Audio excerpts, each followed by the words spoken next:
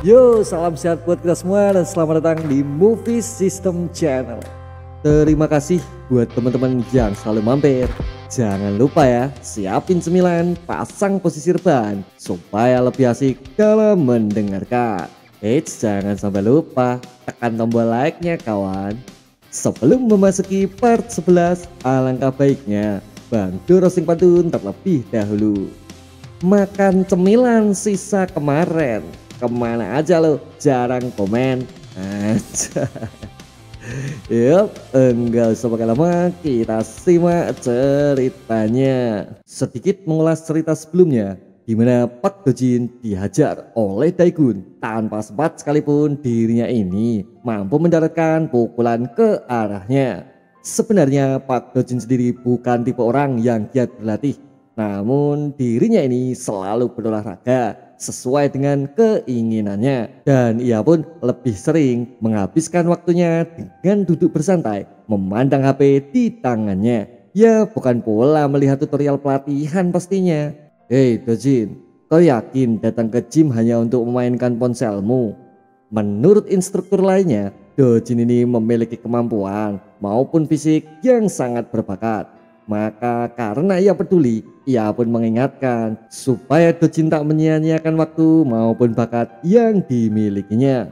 Bahkan saat ini orang-orang di depannya bisa menjadi contoh yang baik mengenai seberapa keras mereka berusaha maupun melatih kekuatannya. Dan mereka pun terlihat bersemangat pastinya. Lalu menurut Dojin, semua itu tak begitu berarti untuknya karena dirinya ini pastilah akan menang bila harus bertarung melawan mereka. Mendengar itu semua sejenak mereka pun terdiam tak mampu menyanggahnya. Ah baiklah lalu apa yang kau lihat itu? Tanya pelatih kepadanya. Menurut Dojin dirinya ini sedang melihat Toto tempat di mana ia menghasilkan uang untuk beberapa kesenangannya.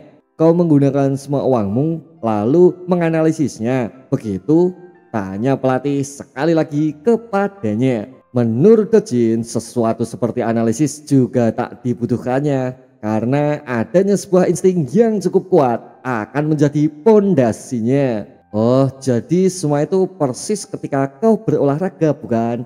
Semua ini kan bukan untuk meningkatkan dirimu, tapi hanya melakukan sesuai instingmu.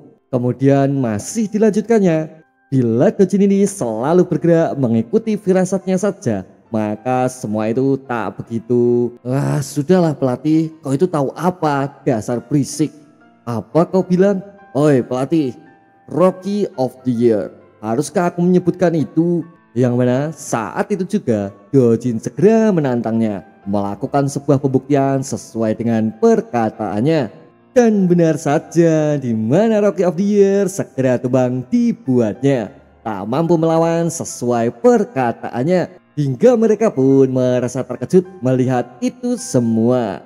Karena menurut Dojin dirinya ini selalu menggunakan insting sebab hanya orang lemah yang mengandalkan teknik di dalam pertarungannya. Hingga tibalah di suatu titik di mana dirinya ini tak bisa lagi mengalahkannya melewati sebuah hambatan keras yang tak mampu dihancurkannya hingga semua itu membuatnya begitu frustasi tak sanggup berpikir untuk menemukan jawabannya lalu tak lama berselang kiri terlihat. Di mana Dojin mulai segera bangkit. Sekaligus ia mulai meyakini bila menghancurkan adalah solusi terbaik yang telah ia pikirkan. Siapa selanjutnya? Kau jangan bercanda, aku itu baru saja mulai. Ungkapnya sembari bersiap memasuki ronde selanjutnya. Menurut Manho, Dojin ini memang bukan manusia karena masih saja bisa bangun setelah menerima berbagai macam pukulan yang bertubi-tubi kepadanya. Hei, mungkinkah dia baik-baik saja? Kenapa tak kita hentikan saja? Padahal darahnya sudah sebanyak itu loh. Ungkap mereka menilainya. Menurut Daegun, Dojin ini cukup menarik juga. Namun dirinya ini terlihat cukup menjijikkan. dengan semua darah yang berlumuran di mukanya dan ia pun segera membersihkannya. Menurut Dojin, saat ini dirinya mulai memahami bila Daegun ini hanya memanfaatkan kelengahan yang ia miliki karena pola serangan yang telah digunakannya selalu dapat terbaca sepenuhnya. Jadi karena itu ya kau terus menghindar seperti serangga. Kau licik juga rupanya. Ungkap Dojin menilai situasinya. Menurut Dojin kali ini pasti akan berbeda karena dirinya ini akan mulai bergerak tanpa adanya pola maupun sebuah pemikiran di dalamnya. Siapa sih serangga sebenarnya? Sadar sedikit dasar kecoa, ungkap Dayun dalam hati. Kemudian menurut Gosengwa, sepertinya inilah sesuatu yang selama ini disebut dengan perbedaan fisik. Maka pertarungan selanjutnya adalah sebuah pertarungan yang sebenarnya. Karena saat ini Dojin telah melepas kunci di dalam tubuhnya, di mana otaknya tak lagi memberinya batasan mengenai kekuatan fisik yang telah berada di tubuhnya. Sehingga adanya rasa sakit tak lagi terpikirkan di otaknya dan adapun hanya perasaan untuk menang yang tertanam di dalam pikirannya seperti yang terdapat di dalam film-film yang pernah dilihatnya. Maka dengan memanfaatkan emosi tersebut, Pak Dojin mencapai puncaknya. Sebuah kekuatan ledakan luar biasa yang mungkin berada di luar batasan manusia. Sehingga kini tampak di mana dirinya kini melesat lebih cepat dari sebelumnya. Mempertaruhkan segala yang dimilikinya berdasar insting yang diandalkannya. Sontak kekuatan besar tersebut sudahlah siap untuk segera digunakannya. Dan Bams, di mana sebuah pukulan tak kalah cepat kini segera dilesatkannya. Menghentikan Pak Dojin menghantam tepat di kepalanya dan akhirnya dirinya pun kini kembali terkapar di depannya. Yang mana dirinya ini tak sanggup lagi mengerahkan kekuatan seperti apa pun yang telah ia tunjukkan sebelumnya. Hei kau itu diamlah. Pemanasanku itu sudah selesai. Dan sekarang kau itu sudah tak menarik lagi. Ungkap Daegun tegas kepadanya. Hingga semua itu membuat seluruh atmosfer di dalam ruangan kembali berubah tak seperti yang sebelumnya di mana rasa semangat, rasa penasaran, bahkan perasaan terkejut tergambar jelas di antara mereka semua. Cih, sepertinya memang begitu. Film tetaplah film, sepertinya Dojin masihlah manusia biasa. Ungkap Gusingwa mengamati pertarungannya. Tak lama dari situ, kini Daegun segera menanyakan mengenai adanya pengumpulan uang guna sebagai dana keamanan. Yang mana itu semua telah mereka lakukan tak sesuai dengan sebuah proyek yang sedang dia kerjakan. Kalian bukan gangster.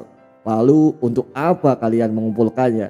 Tanya Daegun kepada mereka semua. Kemudian segera dilanjutkannya. Menurut Daegun, mereka semua itu masihlah anak pelajar. Maka mulai saat ini tak akan pernah ada lagi yang namanya pengumpulan dana dan lain sebagainya. Karena siapa pun yang menentangnya akan menjadi seperti Dojin yang di sebelahnya.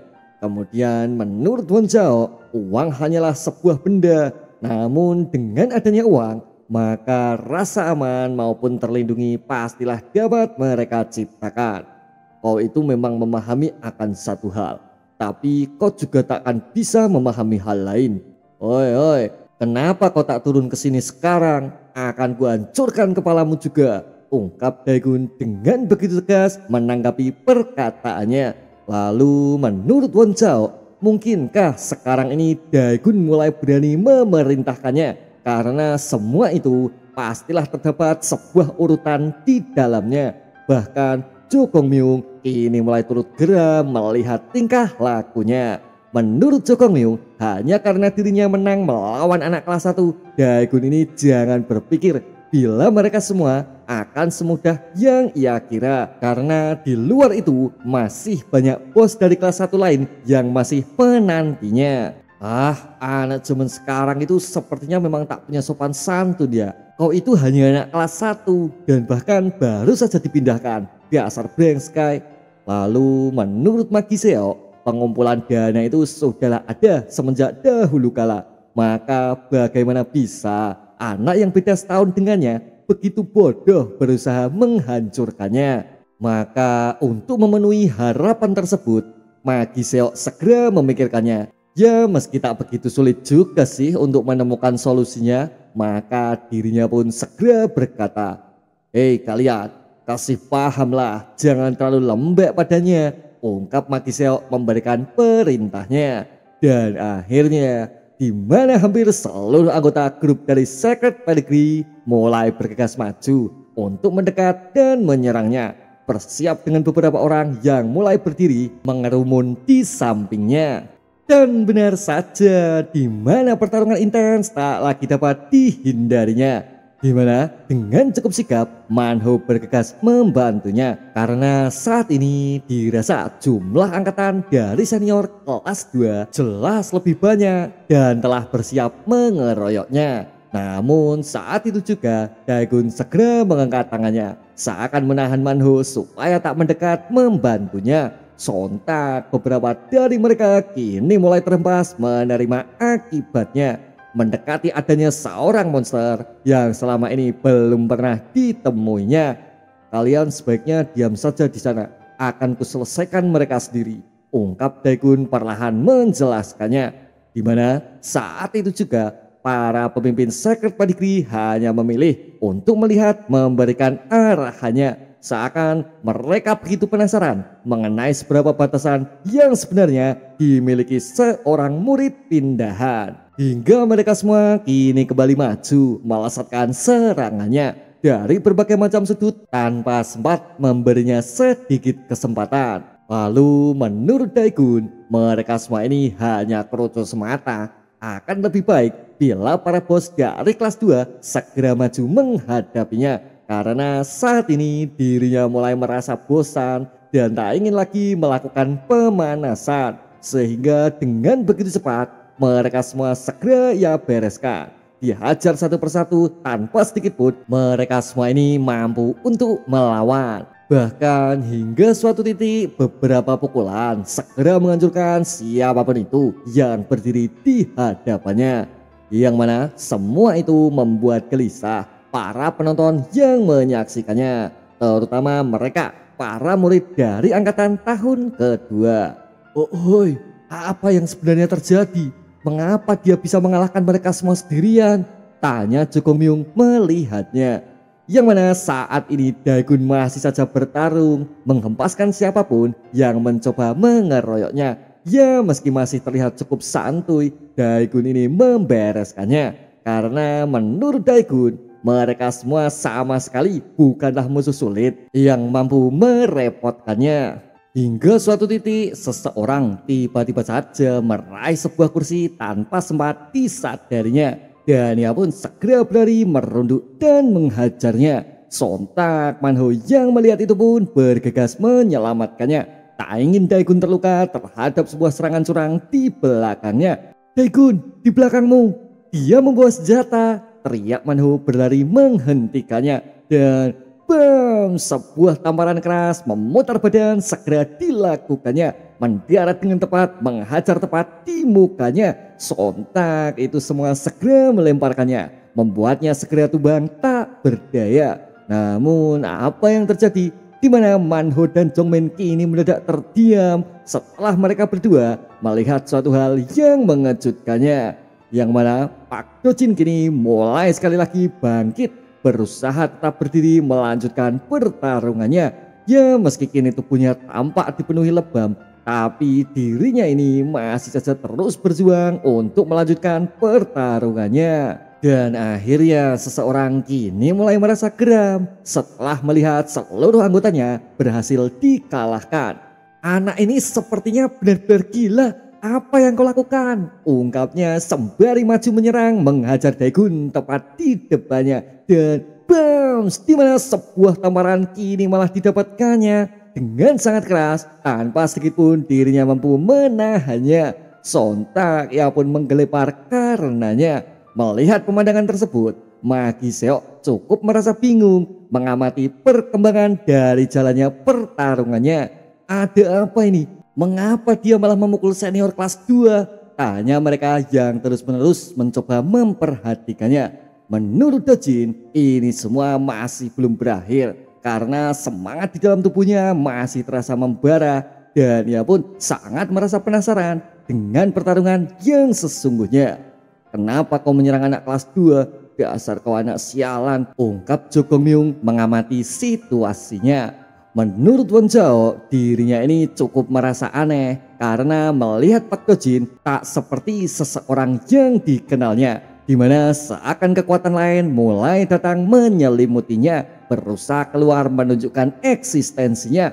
Wah, kau itu benar-benar beda ya. Biasanya tak ada yang sanggup bertahan. Sepertinya kau tahu ya cara menyembunyikan sosok sejatimu. Ungkap Daegun memberikan tanggapannya. Lalu menurut Lee Seung Hon, kata menyembunyikan ini cukup menarik perhatiannya. Seakan Dojin ini berada cukup jauh dari analisis yang dimilikinya. Ah, sepertinya aku tak harus lembut lagi denganmu. Maka kali ini aku tak akan menahan diri lagi. Akan kulakukan yang terbaik ungkap Daegun sembari dirinya mulai bersiap. Tak sesantai pertarungan sebelumnya, di mana sebuah posisi kini disiapkannya guna melawan Dojin yang masihlah berusaha bersikeras untuk melawannya. Lalu menurut Gosengwa, ini adalah kali pertamanya Daegun memasang kuda-kuda. Dan ia pun cukup penasaran dengan sebuah teknik yang akan segera digunakannya. Hah? Akan mulai serius? Lalu yang dari tadi kau tunjukkan itu apa?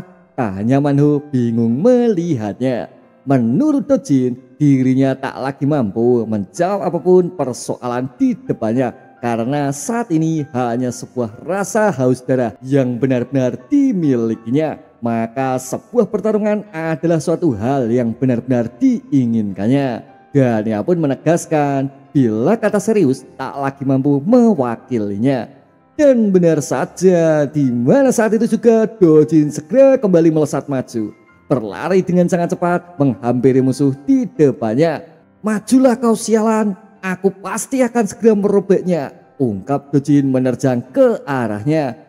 Menurut Daegun, dirinya ini juga tak menyangka akan mulai menggunakan kekuatan yang sesungguhnya, yaitu sebuah kekuatan yang telah sekian lama tak juga ditunjukkannya maka pertarungan kali ini akan ia coba selesaikan hanya dengan menggunakan sebuah serangan untuk dapat merobohkannya.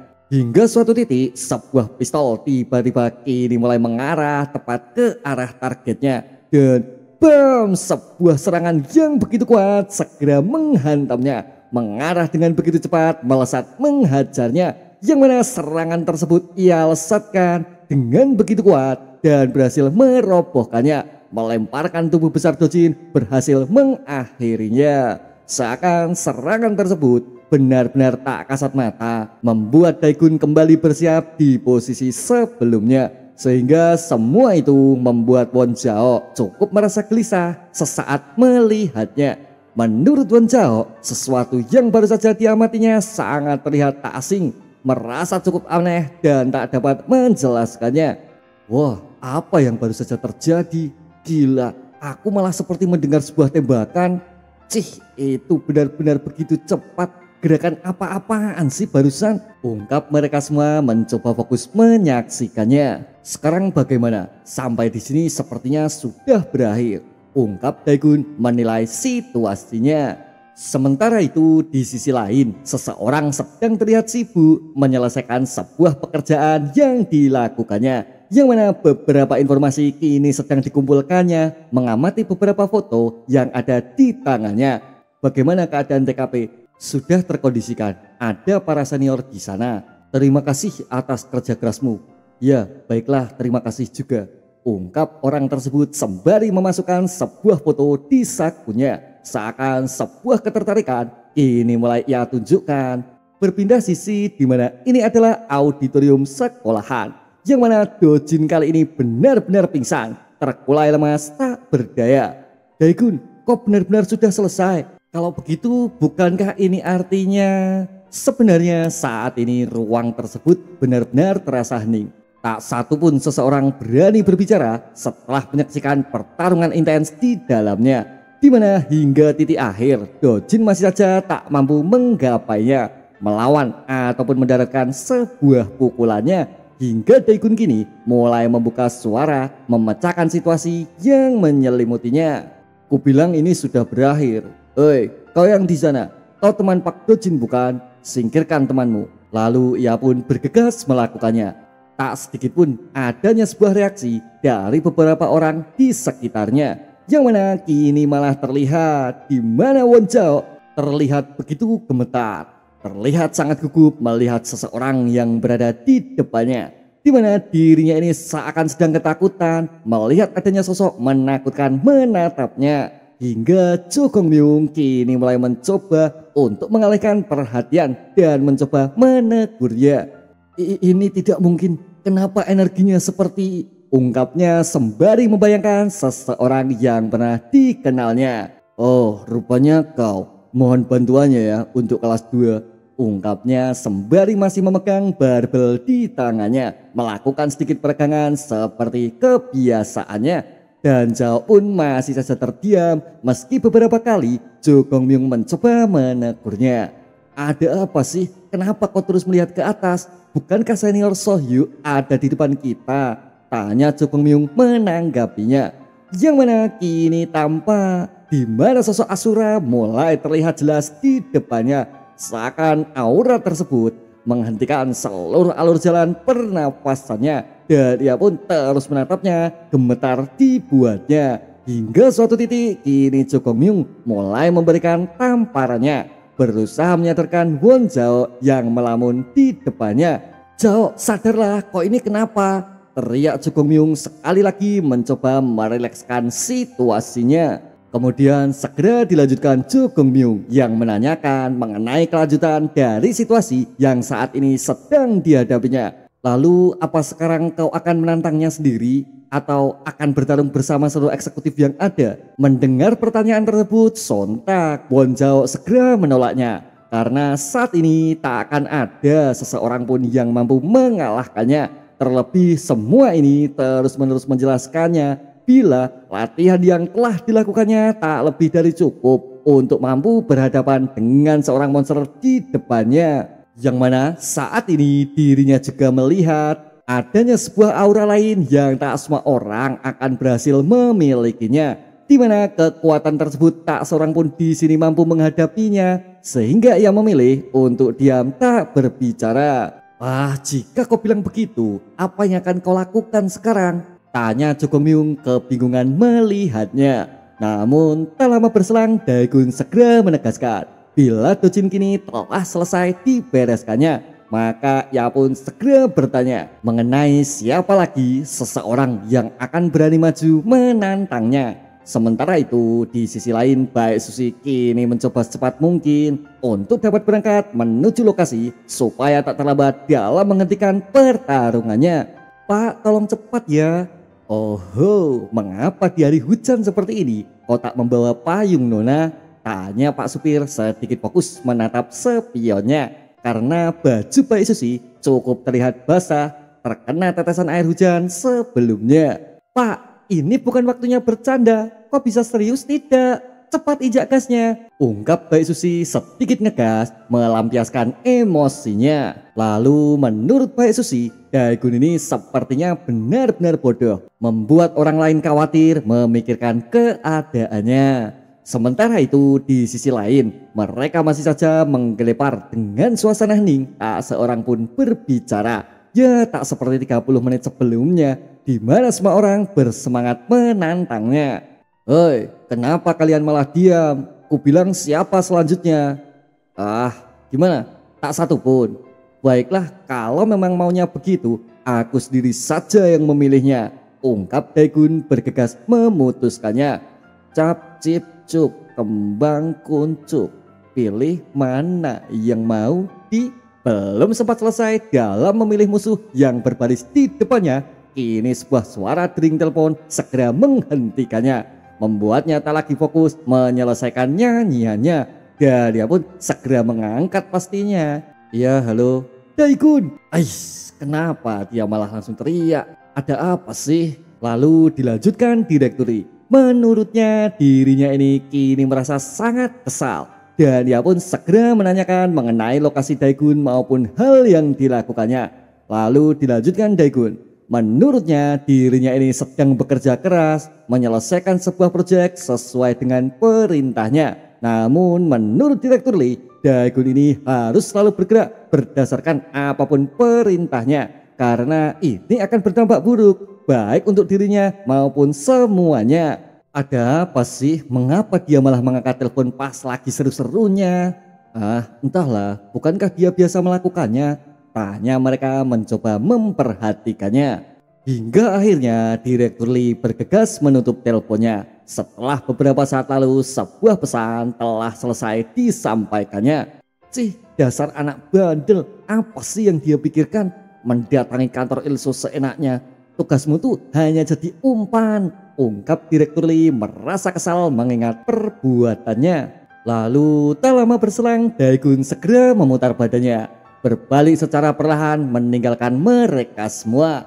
Hoi hoi, hari ini kalian semua beruntung karena aku sibuk. Aku akan segera pergi. Ya meski seharusnya kupatahkan leher kalian semua. Tapi akan kubiarkan kalian semua. Ah ya, kau jangan menguji belas kasihku ya. Bukan begitu yang kau bilang dulu, ungkap Daegun memberikan sindirannya. Yang mana saat ini Won tetap saja sama sekali tak memberikan tanggapannya. Masih merasa gugup dengan suatu hal mengerikan yang telah dilihatnya. Hingga akhirnya Daegun segera mengingatkan supaya mereka semua bergegas meninggalkannya karena tak ada lagi seorang pun yang kini mau bersedia melawannya. Bahkan Do Hyun pun juga tak luput mengikuti pergerakannya. Kemudian menurut murid olahraga, kini Pak Dojin telah berakhir dengan sebuah kekalahan. Dan ia pun keluar sebagai seorang pemenang. Lalu mungkinkah bila Go Seungwa masih akan mampu menang melawannya? Lalu menurut Seungwa, ia pun mengakui akan kekuatan yang dimilikinya. Namun sebuah teknologi tak akan mampu dikalahkannya karena saat ini pelatihan penyempurnaan teknologi masihlah terus dilakukannya bahkan pertempuran teknologi adalah suatu hal yang tak mudah untuk diprediksi. Ah iya, minggu depan waktu pengumpulan dana bukan? Bagi kalian yang masih melakukannya akan kuhabisi dengan tanganku sendiri. Tegas Daegun mengingatkan mereka semua. Yang mana itu semua sedikit membuat para senior dari kelas 2 merasa cukup gugup untuk menjawabnya. Ya semua itu karena pertunjukan sebelumnya yang mana sebuah pertarungan kelas atas sesaat lalu telah selesai ditunjukkannya. Dan akhirnya Daegun segera membuka pintunya dan akan duel di mana adanya sebuah kecelakaan maut kini malah dialaminya menabrak sebuah gunung tanpa sempat disadarinya. Muehehehe, sontak Daegun segera menyapanya. Ah, baik Susi, Kekuan Daigun, kau tak apa? Bagaimana keadaanmu? Lalu bagaimana kau bisa terlihat baik-baik saja? Tanya Baik Susi basah kuyup di depannya. Yang mana pemandangan menarik kini mulai ditunjukkannya. Membuat kalian bengong, tersenyum simpul dibuatnya. Ya berarti kalian normal guys. Mengamati itu semua, kini Daegun malah merasa bingung menanggapi segala omongan yang telah didengarnya. Jadi kau berharap aku tak baik-baik saja? Ya bukan begitu sih, bukannya para senior kelas 2 juga menunggumu? Tanya Baik Susi sedikit mengintip pemandangan di dalamnya. Dan benar saja, di mana kini tampak beberapa orang telah tergeletak di dalamnya, termasuk beberapa senior dari angkatan tahun kedua. Sontak ia pun sedikit tak percaya memastikan pemandangannya. Oh my god, semuanya tumbang. Apa sih yang terjadi? Lalu apa kau melakukan semuanya sendiri? Tanya Baik Susi sekali lagi tak percaya. Kalau kau tak datang untuk menemuiku, maka aku akan segera pergi. Lalu menurut Baik Susi, semua ini pasti hal yang tak mungkin. Bagaimana bisa seorang anak kelas 1 merobohkan banyak senior yang datang menantangnya? dan ia pun masih tetap sulit untuk mempercayai itu semua. Hingga suatu titik Daegun mencoba menawarkan sebuah seragam yang biasa dipakainya. Ya karena dirinya merasa cukup tak nyaman menyaksikan itu semua. Mengamati hal tersebut Susi segera menanggapinya. ba- ba- baju Daikun. Oh my god. A- apa kau mau aku memakai ini? Ya setidaknya pakailah supaya kau tak kedinginan. Dan akhirnya di mana sebuah pemandangan bagus tak luput disajikannya. Sesuai harapan Mimin membahagiakan kalian semua. Dan muehehehe. Apaan sih lo Min? Gak jelas deh. Hingga akhirnya Daegun mencoba memakaikannya secara perlahan seperti adegan drakor biasanya. Yang mana semua itu jelas membuat Susi Marona merasa begitu senang menyelimuti seluruh imajinasi liar yang dimilikinya. Susi, gaun ini tampak bagus untukmu. Ah, baiklah opa, aku akan percaya padamu. Tapi bisakah aku memakainya sendiri? Karena aku sangat malu kalau kau yang melakukannya. Lalu bagaimana dengan honeymoon kita? Dan itulah sebuah bayangan yang diimpikannya. Hingga saat ini seseorang tiba-tiba saja membangunkan Susi dari imajinasi liar yang sedang menguasainya yaitu Yang Jinmo. Di mana dengan perlahan ia pun mengingatkan supaya segera pergi bersama mereka semua. Dan ia pun segera berlari secara perlahan bergegas menyusulnya.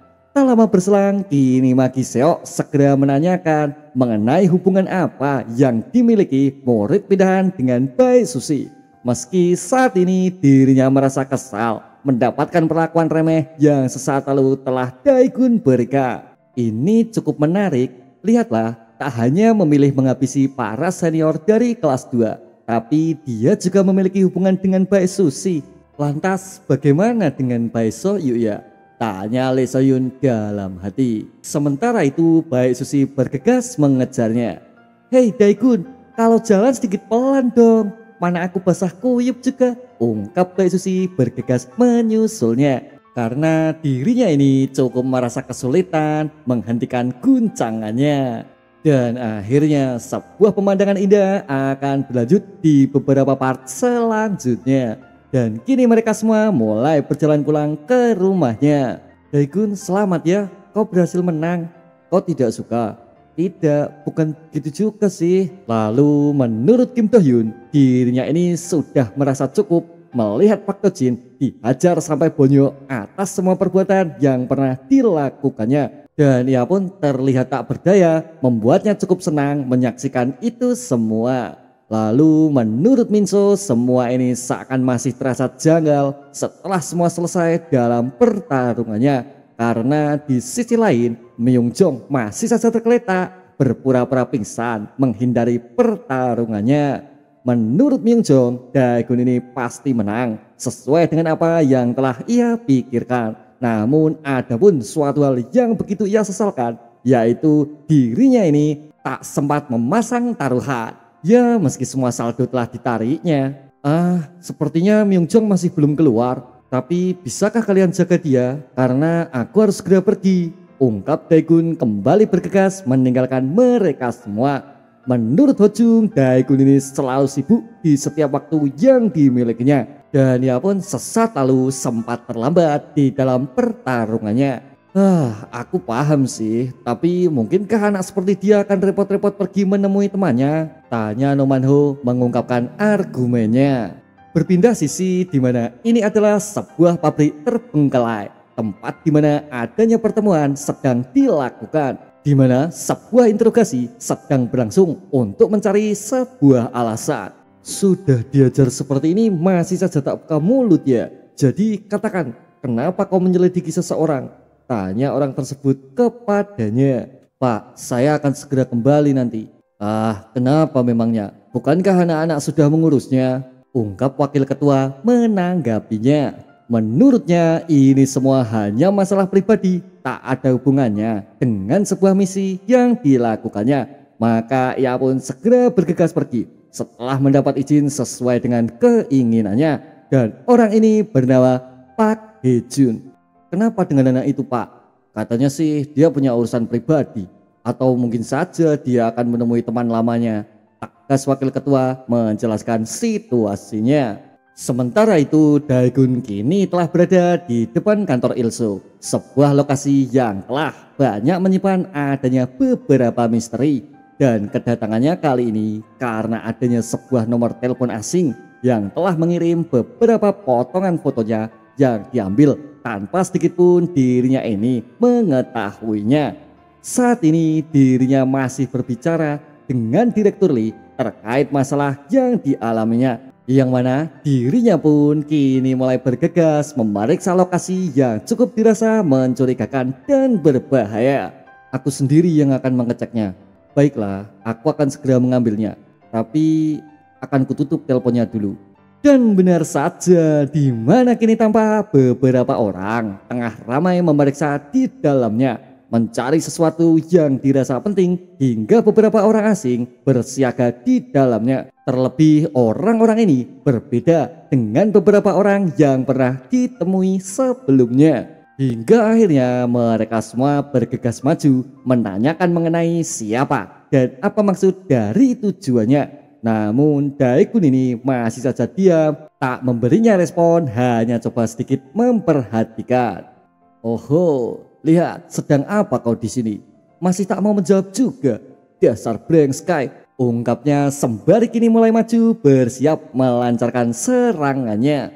Dan Bams, di mana seketika itu juga kepala tersebut membentur sebuah dinding yang berada tepat di sebelahnya membuat dirinya langsung pingsan setelah menerima satu serangan yang diberikannya. Sontak itu semua mengejutkan mereka semua. Namun tak lama berselang, tiba-tiba saja seseorang muncul dari arah belakang sembari memperingatkannya bila orang yang berada di depannya ini cukuplah dirasa berbahaya, maka mereka semua sebaiknya segera menghentikannya. Tak lagi melanjutkan pertarungan tak penting yang dapat merugikannya. Bahaya apanya? Cuma seorang bocah. Kok ini serius? Dan ia pun kembali memperingatkannya. Sekali lagi menghentikan semuanya. Supaya tak terjadi keributan yang sama sekali tak dibutuhkan. Yo, lama tak jumpa. Bagaimana kabarmu? Tanya Hejun kepadanya. Daegun yang sesaat mengamati orang tersebut kini mulai memahami bila orang yang baru saja memanggilnya adalah seorang yang pernah dikenalnya. Sebenarnya Daegun sendiri tak mempercayainya bila mereka berdua akan dapat bertemu kembali di sebuah situasi yang cukup mengejutkannya. Yang mana adanya pesan sebelumnya ternyata Hejun lah orang yang selalu mengirimnya. Apa maksud dari pesan itu? Bukankah kau yang mengirimnya? Tanya Daegun kepadanya. Lalu menurut Daegun dirinya itu sesat lalu segera memeriksa lalu mendatanginya sebuah tempat yang telah ia kirimkan beberapa waktu sebelumnya. Aku mendatangi kantor ini dan semua sudah tampak berantakan. Itu semua kau juga kan yang melakukannya? Tanya Daikun sekali lagi kepadanya. Kemudian menurut Hejun, mereka semua adalah orang-orang yang selalu berusaha mencari tahu mengenai berbagai informasi dari sebuah organisasi yang sedang diikutinya. Dan itulah mengapa dirinya ini berusaha membereskannya sekaligus tak sengaja menemukannya. Seakan semua orang-orang itu mencurigai Daegun sebagai seorang anggota dari salah satu organisasinya. Kau tak perlu khawatir karena hanya aku satu-satunya yang mengetahui informasi ini. Ngomong-ngomong apa yang kau lakukan sekarang? Bukannya itu seragam SMA?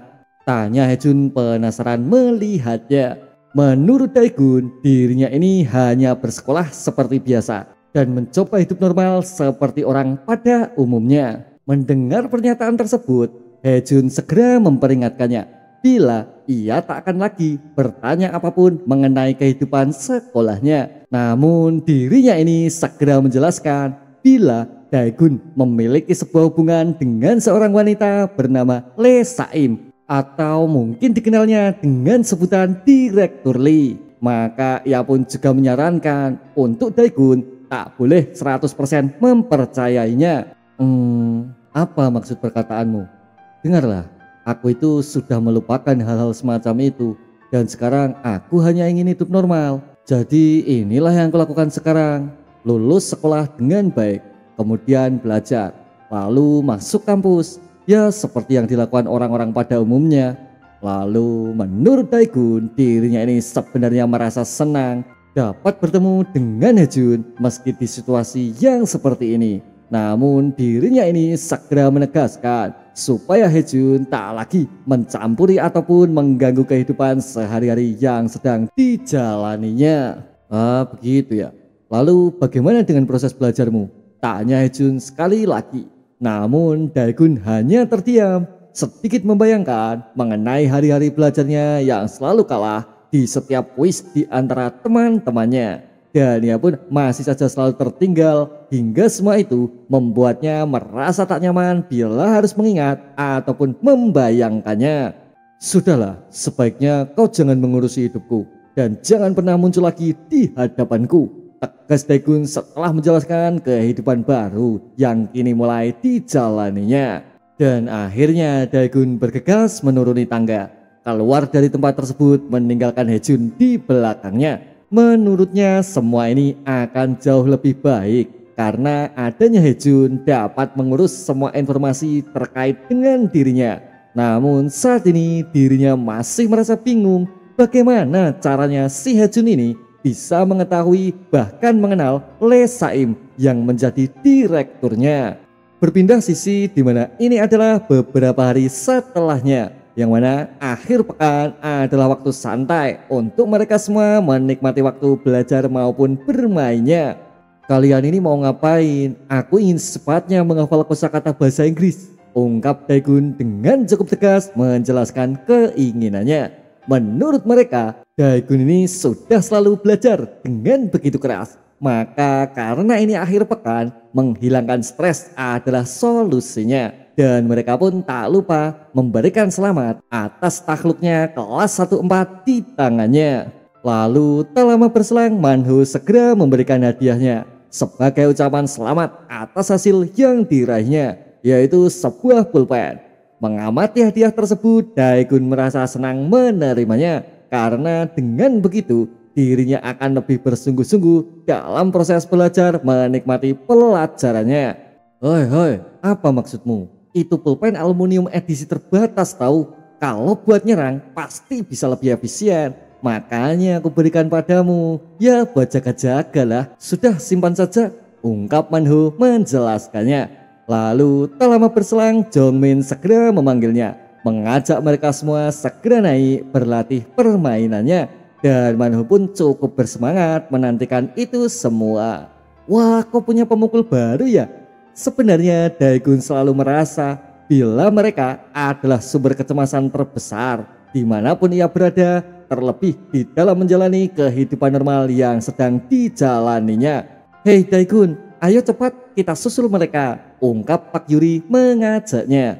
Dan akhirnya pemukul tersebut segera digunakannya bersiap mengetes dan mengukur sejauh mana perkembangan kemampuan yang telah dipelajarinya. Menurut Daegun, Manhu ini selalu mengayunkan bat di dalam perkelahian yang selalu dihadapinya.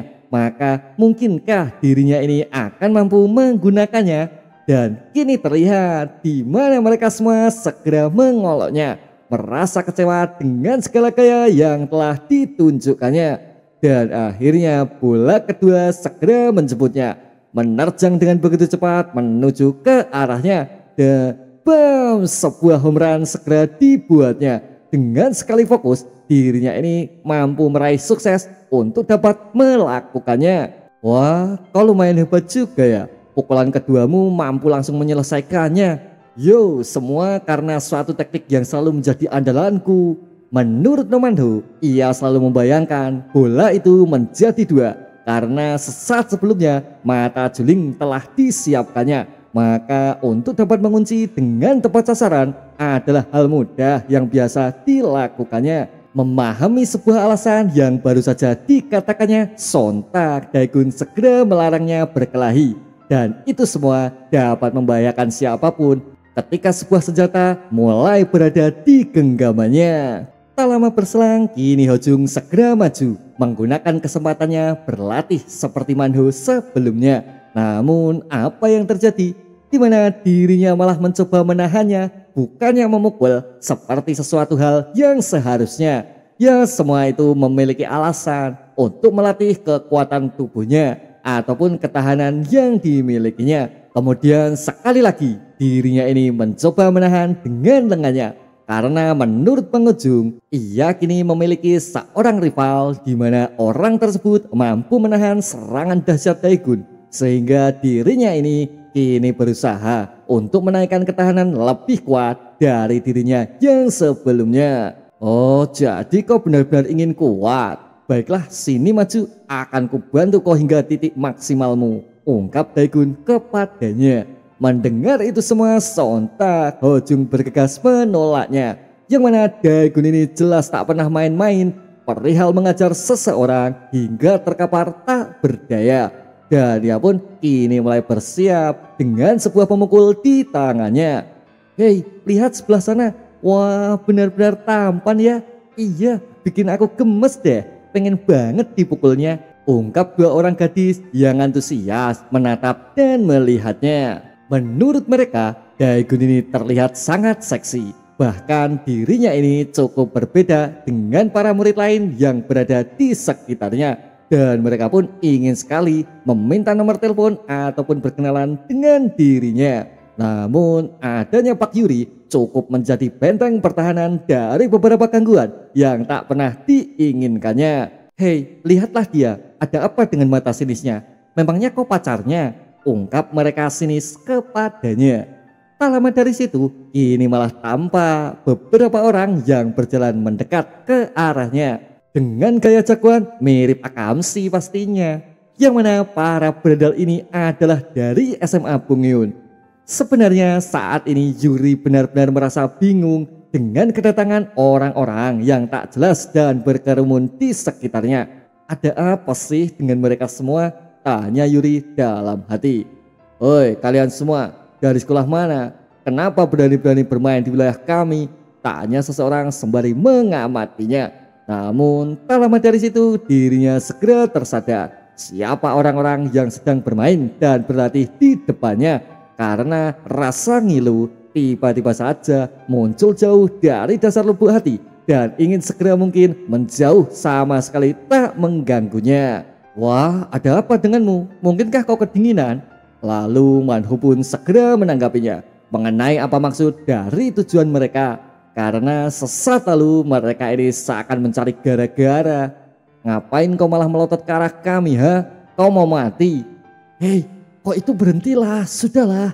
Sudahlah bagaimana? Mereka ini berani-berani mengganggu Minji kita. Sadarlah, itu mungkin tak sengaja.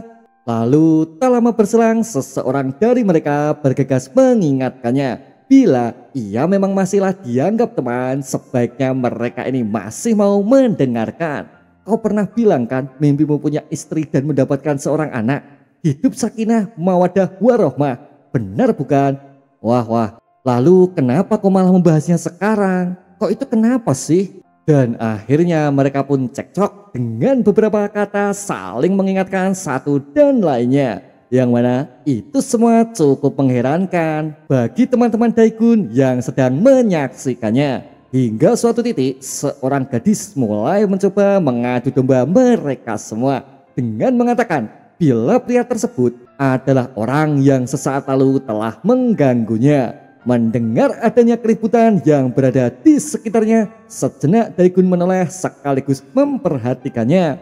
Hingga akhirnya orang-orang itu pun kembali mulai tersadar bila anak-anak yang berada di depannya benar-benar berasal dari SMA Ryong. Dan orang yang berdiri tepat di depannya adalah Kwon Daegun, seseorang yang pernah meratakan SMA Bungeun dalam insiden pengeroyokan sebelumnya. Sontak itu semua semakin membuatnya gugup, merasa sangat ketakutan karena tak ingin lagi adanya masalah lain yang datang menghampirinya.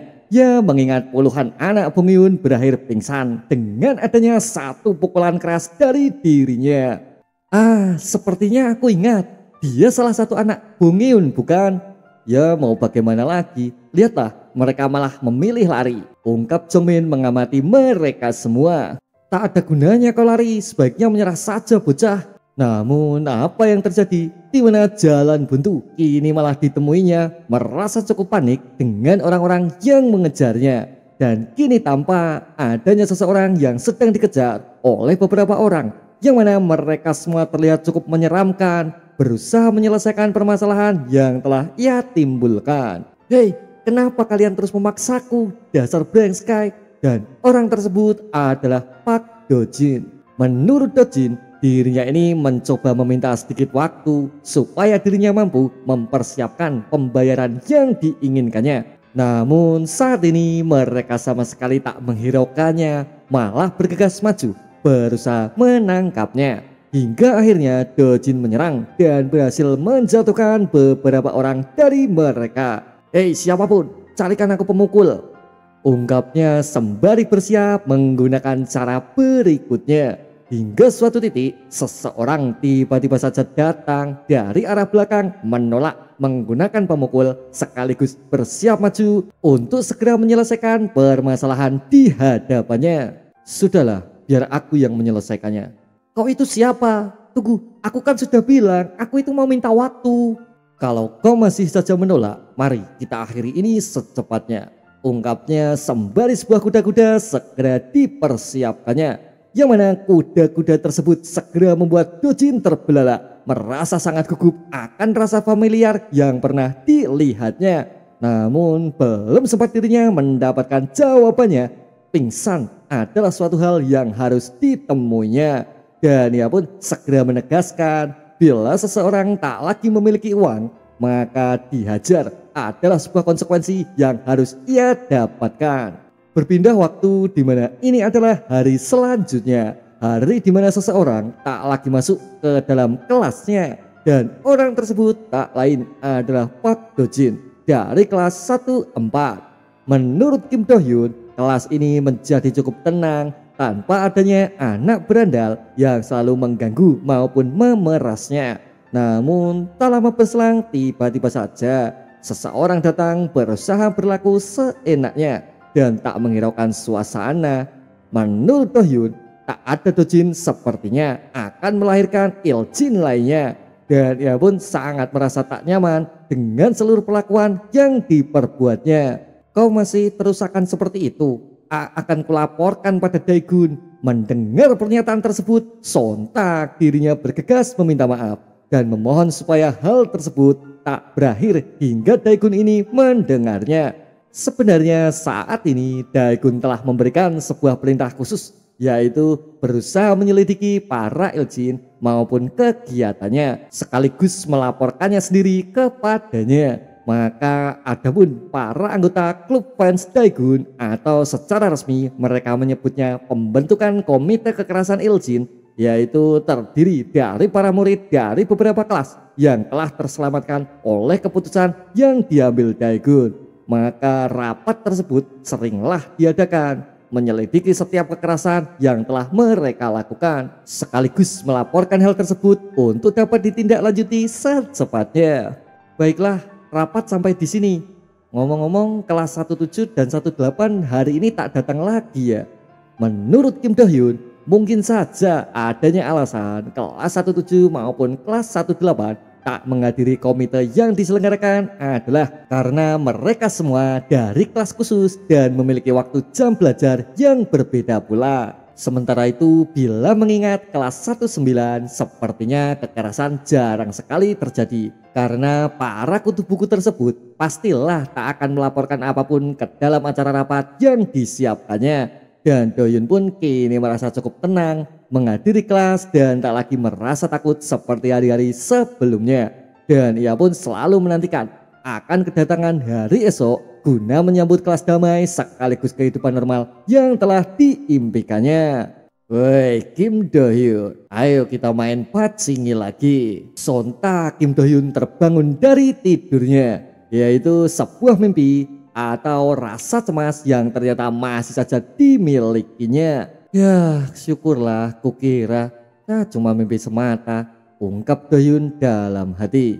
Berpindah sisi di mana ini adalah kelas 19. Kelas di mana para anak kutu buku selalu belajar dan terus belajar. Hingga suatu titik seseorang kini mulai melempar penghapus mengarah kepada seorang murid yang berada di depannya. Ah jangan begitu dong.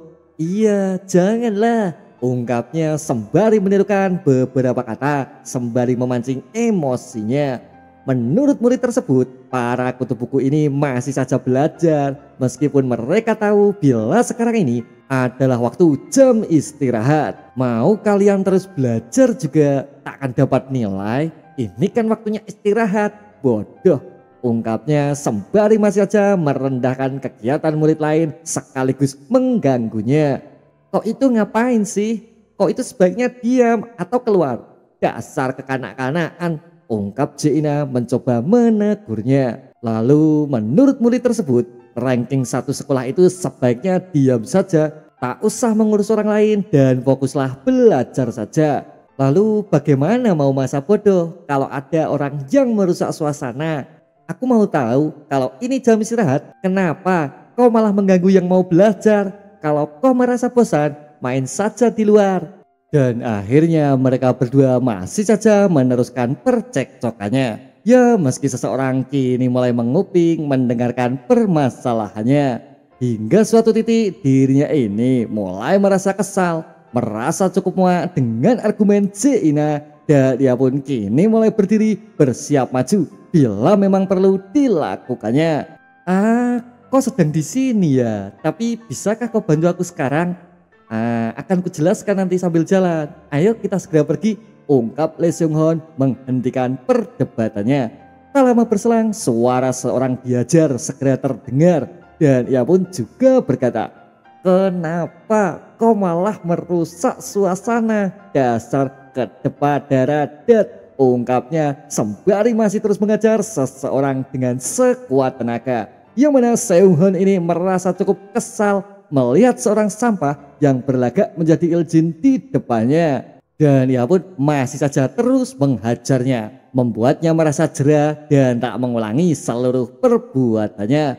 Menurut Seung Hon, semua ini gara-gara para bradal seperti mereka. Merusak image sekolah terlihat tak berguna dan ia pun terlihat begitu kesal pastinya. Ingat, mulai sekarang kau harus selalu senyum ya. Jangan malah berbuat seenaknya. Ah iya, sebaiknya kau segera pulang saja. Aku benar-benar muak melihatnya. Ungkap Lee Seung Hon kepadanya. Tak lama berselang dirinya bergegas mengangkat teleponnya. Yang mana sebuah informasi segera dibagikannya. Yaitu mengenai mereka bertiga yang sebaiknya bersatu menghadapi permasalahannya.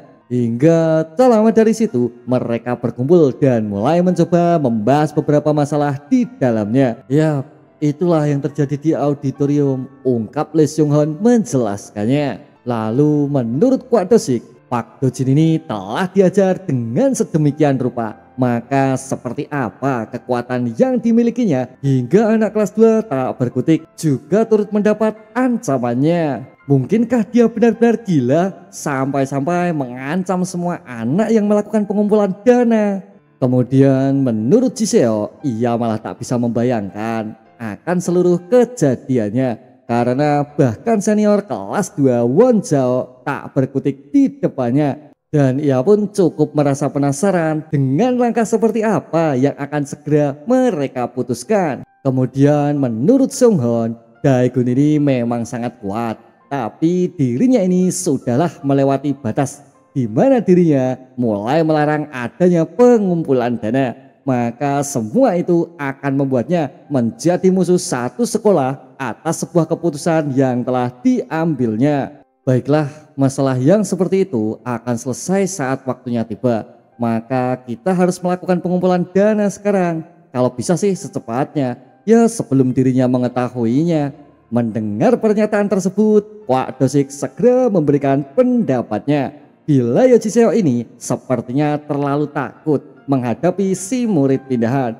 Dan bila dirinya tak mampu mengumpulkan dana di SMA Kim Ryong, ia pun menyarankan supaya dirinya segera menjilat kaki si anak baru seperti yang ia khawatirkan. Sudah-sudah, soal itu tak usah dibahas, itu sudah diatur. Kemudian menurut Lee Seung Hon, itu semua karena Daegun ini akan segera diurus sebelum datangnya waktu pengumpulan dana. Sebab dirinya ini telah menyentuh sesuatu yang tak seharusnya ia sentuh yaitu sebuah peraturan mutlak SMA Kim Ryong yang sudah ada sejak sekian lama. Jadi akan kita lanjutkan saja pengumpulan dana sesuai waktu yang ditentukan. tegas Lee Seung Hoon kepada mereka berdua. Sementara itu di sisi lain, Kim Do Hyun tengah melaporkan bila kelas 17 maupun kelas 18 selalu tak pernah hadir di sebuah rapat yang selama ini mereka adakan. Dan Daegun pun terus menyuruhnya untuk lebih mengawasi gerak-gerik yang sedang mereka lakukan. Ah, jadi kau sudah bisa mengingat ya siapa Daegun dengan tepat. Tentu saja, kau pikir aku ini apa? Aku jelas penggemarnya. Jawab Kim Do Hyun menanggapinya. Menurut Do Hyun, saat ini semua berjalan lebih aman. Berkat adanya Daegun, banyak anak-anak yang mengatakan bila sekolah jauh terasa nyaman dan menenangkan. Bahkan para penggemar Daegun makin bertambah di setiap harinya. Hei, kau awas, bisa minggir enggak? Ah, oke oke, baik. Yang mana saat ini baik Susi tiba-tiba datang mulai mengarah Daegun sembari melirik Pak Yuri yang sedari tadi telah berada di dalam kelasnya. Dan dia pun segera mengembalikan sebuah baju yang beberapa hari lalu telah Daegun pinjamkan. Sekaligus dirinya ini mencoba menjelaskan bila baju tersebut telah ia cuci setelah terdapat noda make up di bajunya. Aha, dipakai di badan kok bisa kena noda make up ya? Mungkin karena dia mencium-cium atau apaan sih? Kok itu pinter ngarang ya? Ngapain cium-cium baju busuk begitu? Ungkap Baik Susi menanggapinya.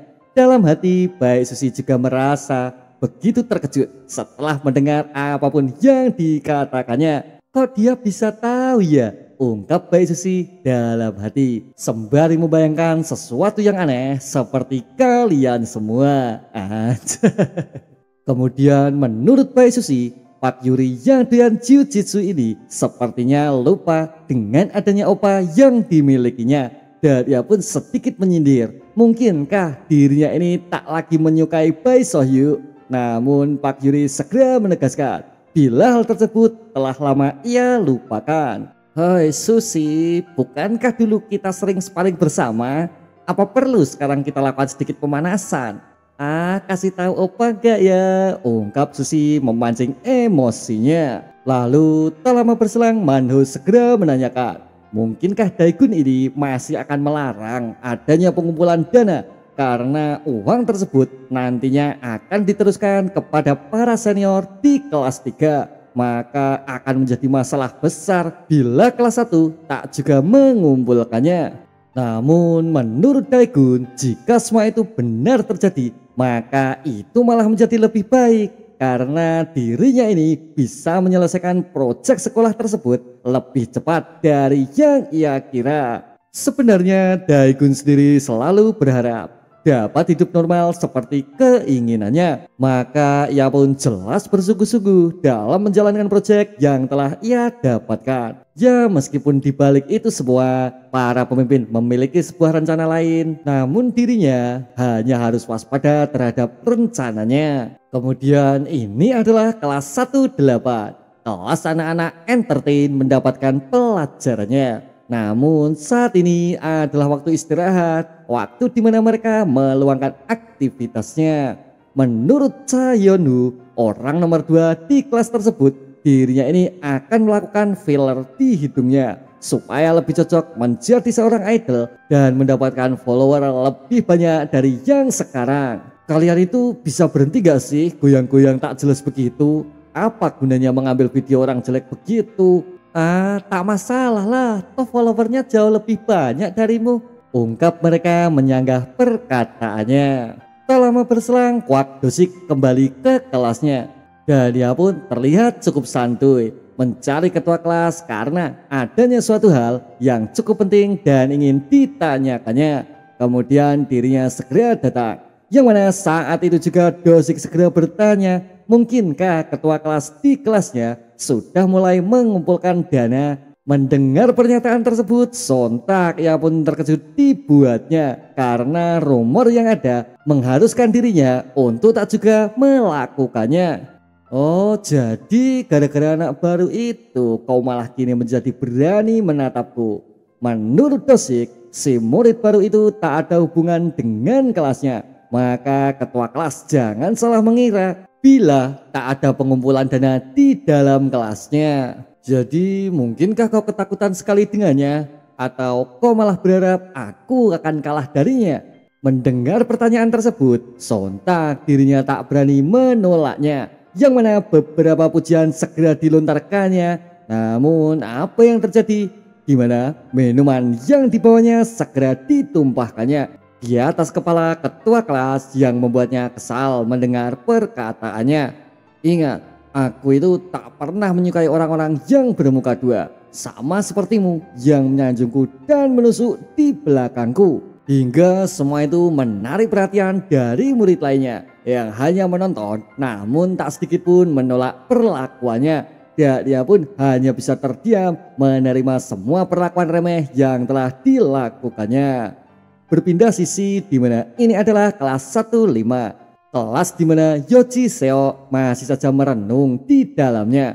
Karena menurut Jiseo, Wak Dosik itu belum pernah mengetahui kengerian Daegun yang sebenarnya. Maka dirinya ini akan selalu berbuat seenaknya. Lalu bila dipikir lagi, mereka bertiga semisal akan bersatu melawannya, itu jelas menjadi hal yang mustahil untuk dapat keluar sebagai pemenangnya. Dan dia pun masih saja merasa bingung antara mengumpulkan dana ataupun tidak karena keduanya jelas sedang menuntunnya ke dalam jalan kehancuran tak satu pun solusi diketemukannya. Hei Jiseo, lihatlah jaket ini cocok loh denganmu.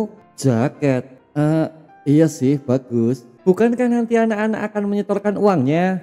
Mendengar pertanyaan tersebut, Jiseo segera meminta link pembeliannya karena dalam hati pengumpulan uang memang seharusnya dilakukannya. Lalu bila mengenai situasi yang dihadapinya, ia pun sangat berharap agar Lee Seung Hoon mampu memberikan solusinya. Sementara itu di sisi lain, Lee Seung Hoon masih saja santuy menikmati waktu di dalam kelasnya. Seung Hoon, apa benar menurut anak-anak yang lainnya tak ada pengumpulan dana Lagian aku ini masih ada kesibukan, jadi aku tak bisa membantumu ya. Memahami hal tersebut, Sung Hon segera menjelaskan. Bila menyangkut permasalahan tersebut, ketua kelaslah yang bertanggung jawab menyelesaikannya dan ia pun segera menyuruhnya pergi untuk dapat melanjutkan kegiatannya. Sebab menurut dirinya yaitu ketua kelas dari kelas 19 uang perlindungan tak perlu dikumpulkan dan ia pun malah semakin tertarik dengan apa yang akan terjadi setelahnya karena prinsip adu domba adalah prospek yang selalu digunakannya dan iya sampai di sini dulu guys. Alur cerita The Bully in Charge di part 11 bila kalian tertarik bisa simak cerita selanjutnya. Dan ciao.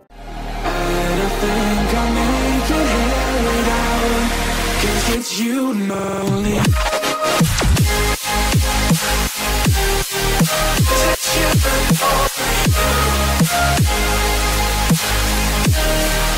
This is you, only you.